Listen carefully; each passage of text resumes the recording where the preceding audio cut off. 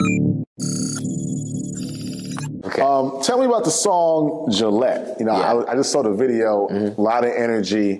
Tell me about kind of like how that song came about. Yeah. You know, what inspired you to do that song, and how it became, you know, one of your singles that kind of kind of took off a little bit. So I recorded that at an Airbnb in Arizona. We were actually shooting the Max video shoot, like it was that time. And, you know, just so much momentum and so much energy was there at that shoot that I feel like it all went into Gillette as well because we recorded in the kitchen. Bray cooked up, cooked up this fire beat, which you heard on Gillette. And then um, we basically, I had an idea of being in a magazine and also we wanted, you know, with that NFL, the NFL placement, which it did get, we springboarded from that, that idea and it made the video. And, you know, we had, um, we had skateboarding in it. We had, we had uh, the group of entourage. We really wanted that urban feel, you know, in the city and just whatnot. So Kind of like I like when artists go out there, you know, Mm-hmm. comfort zone and record. You know, you being from Georgia, and you say recorded that joint in Arizona. Have you recorded anywhere else besides Georgia Um, and Arizona? Yeah, I've recorded in LA. I've recorded in Toronto. Most recently, Toronto. Um, I just had a studio session there. Came back from there from a show. I've recorded New York. Uh, yeah, I think that's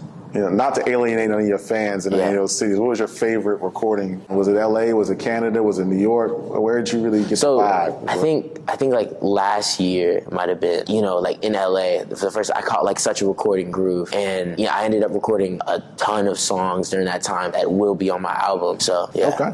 And speaking of your album, what's the what's the, you have a, you have a title of your album? You still working Mm. Yeah. on that right now? it's called New Genesis Eugenesis. Like, Yeah. What's the, what's the meaning behind that? Uh, so it was during a time where my life was really changing, and I was going through a array of emotions, going heartbreak, as well as just my life changing because I was moving to LA um, around that point. So with my life changing and everything, it was it's a real time capsule of an album. To, you know, for you're gonna really hear everything that I was going through and what was going on in my head during these times. And when, when we expecting that? When can we expect that to drop? Probably late February or March.